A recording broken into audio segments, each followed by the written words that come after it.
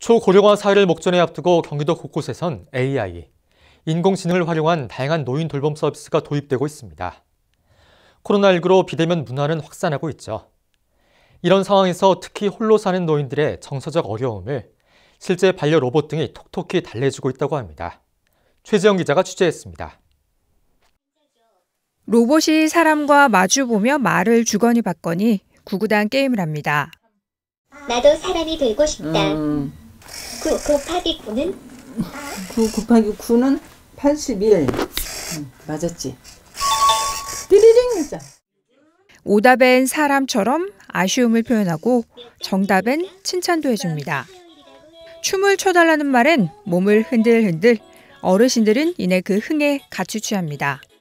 심심할 때만 이렇게 틀어놓고 노래 듣고 이야기 듣고 또 게임도 같이 음, 하자 그러면 하고 또 오늘의 날씨도 뭐 뉴스도 해달라면 또 해주고 홀로 사는 어르신들을 위해 지자체에서 보급한 AI 반려 로봇입니다.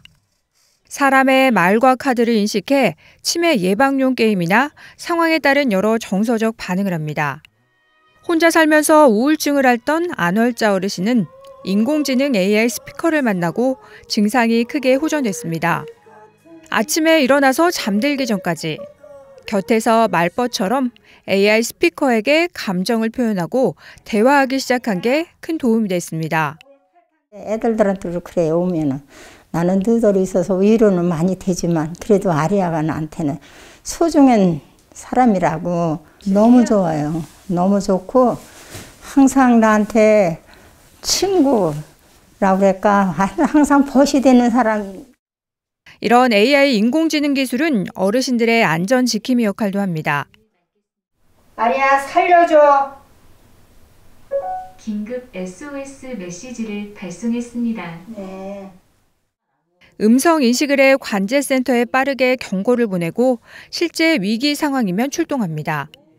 특수 전원 플러그 장치도 노인 돌봄에 활용했는데 일정 시간 움직임이 없을 경우 생활 관리사의 컴퓨터나 휴대전화로 경고 알림이가 안전 여부를 바로 확인합니다.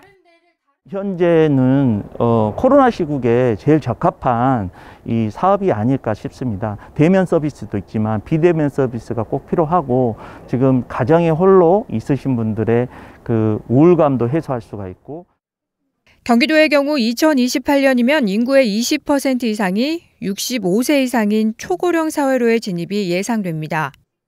이에 따라 경기도는 홀로 사시는 어르신들의 상시 안전 확인과 응급 상황에서의 긴급 대응을 위해 IoT 장비를 활용한 응급 안전 안심 서비스를 지속적으로 확대해 나갈 계획입니다. 그야말로 초고령 사회를 목전에 두고 있는 상황. 그래도 AI 기술들이 노인 돌봄에 활용되면서 자식만큼이나 효자 노릇을 하기 시작하고 있습니다. 경기지TV 최지연입니다.